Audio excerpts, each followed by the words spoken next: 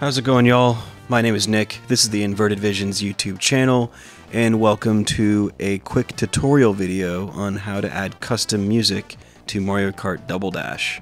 I got a comment from D. Cooper on the channel. They asked if I could make a quick little video, and I said, why the hell not? Little disclaimer this method is not the best method, nor is it the most comprehensive or complete, but it's simple, it's easy, and it's what I do to add custom music to tracks in Double Dash. Um, if anybody has any better methods or more thorough methods, let me know. I'm sure that'll be appreciated um, if anyone's got a better way to do this. But this is how I do it. Uh, let's get started. This is uh, custom music in Mario Kart Double Dash.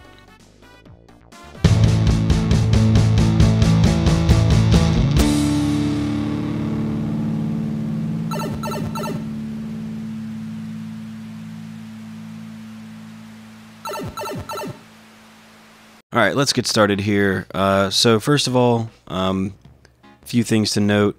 You're going to need this right here, AST converter. Uh, looks like somebody is playing a game. Okay, AST converter. You're going to need this. I'll put this in the uh, in the description, a link to this download.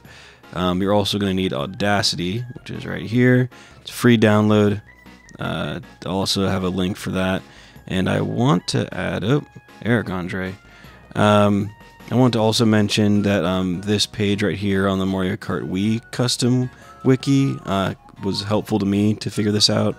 Um, so um, some of these downloads are going to be here. There's some stuff here to, for like looping. I'll mention that I don't do loops for the custom songs I add. Um, you're supposed to, but I think as long as a song is about two and a half to three minutes, that's all you really need for two laps of a track in Mario Kart. You don't need anything longer than that. So as long as the song is long enough, you should be fine. Um, but I will mention that I don't have loops on the songs that I add. So um, if a song gets to the end of its duration while you're still racing, um, it will like fade out and then start over. So just something to note. Um, if uh, if you can't find a longer version of a song, um, that will happen unless you do in fact loop it, which is mentioned here, which I just don't do that because it's more work and I'm lazy. So yeah, I'll have a link to this as, as well. Um, so for this tutorial, I'm going to uh, add a song, or two songs I should say, um, from Splatoon to uh, reverse Waluigi Stadium um, from Double Dash. Um, and if you don't have the reverse tracks, they're cool. They should be in track edits on the wiki uh, yeah, reverse. So it's all the courses from Double Dash, but they're reversed and they're interesting. So for all the reverse tracks, I like adding custom music because um, I know I don't want to hear the same song again. So so let's get started with that. So first things first, you're going to want to uh, have some MP3 or uh, WAV files. Um, these are MP3s. Um, these are the two songs that I'm going to use. This two songs from the first Splatoon.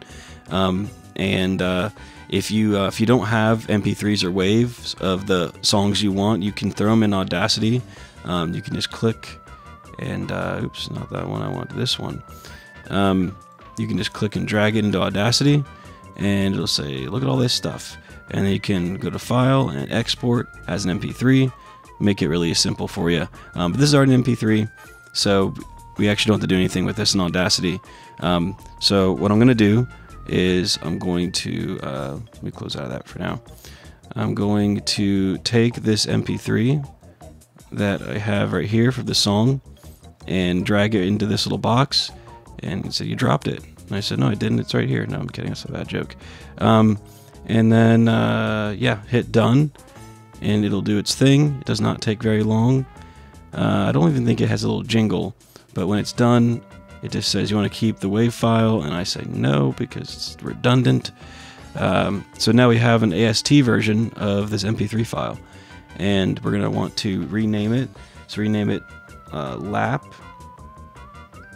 underscore music underscore normal. Lap music normal. And uh, so uh, for this tutorial, um, I'm going to do this just just cause, but I will. Let me explain. Uh, let me pull up Audacity again. So for your um, final lap music, you're gonna want to um, speed up and pitch up the song so you know it's a little faster. Um, all, all Mario Kart games do that, and you know what I'm talking about. So to make that happen, you're gonna want to take your um, your audio file, throw it into uh, Audacity, go to Effect, go to Pitch and Tempo, and go to Sliding Stretch. Oh, that's a good thing. You want to click Make sure it's highlighted, it'll turn like brighter white. So make sure your audio track is highlighted, go to sliding stretch, and you want to make your preset 10 and 1 here.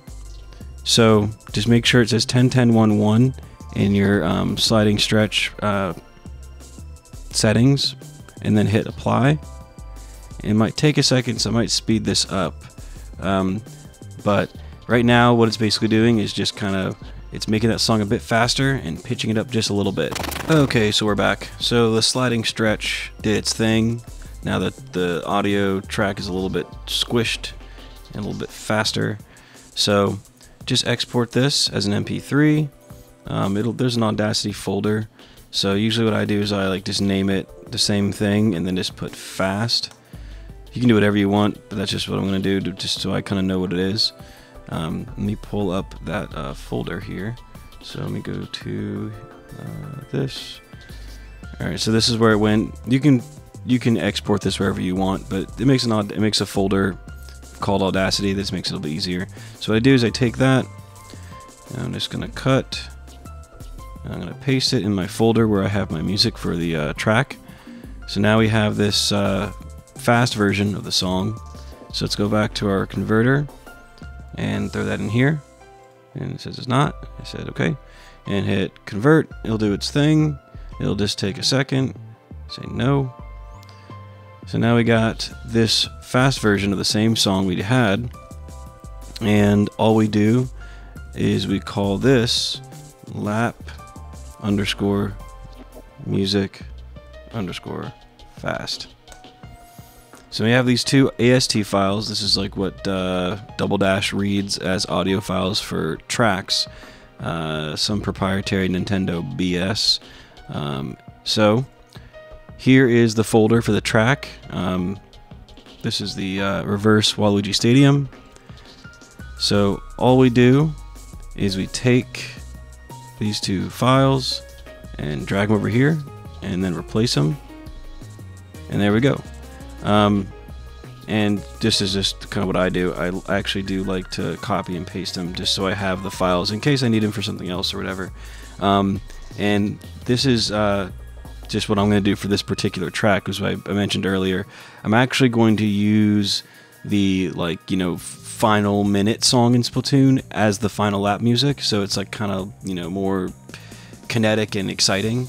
Um, so for this, just grab it, throw it over here, whatever. I'm not gonna make it faster or anything in Audacity because the song I think is fine for what it is.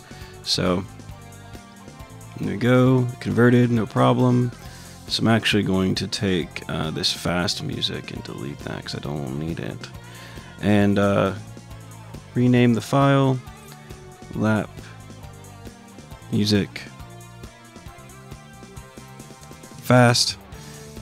And I'm going to take, actually, let me go copy and paste that here, replace the file. Bada bing, bada boom. Look at that. We got our lap music. Everything's good here. All right, so let's head on over here to the extender. You can use the patcher as well. Extender patcher, whatever your uh, your your preference is. I like using them both for different reasons. Um, and this is just a huge shout out. I'll just say this real quick to everyone doing Mario Kart Double Dash modding stuff. Y'all are freaking amazing. This is the best thing I've ever done in my life. I love modding this game. Um, I'm kidding. That's not the best thing I've ever done in my life, but it's one of them. So we have our input ISO file, output ISO file. I'm sure if you're into this at all, you know how to do this. Um, we just need to make a, a new build um, for this version that has the updated song um, for Waluigi Stadium. So, you know, obviously, if we're changing some of the files, um, we need to make sure that the um, that that is written to a, uh, a new uh, build or a new ISO, if that makes sense. So we're gonna let this let this do its thing, And then once we're done, we should have a nice, fresh, hot piping ISO file. I'm gonna throw that on Dolphin, and we can uh, we can see uh, and hear what the uh, what the custom song's all about. So stay tuned.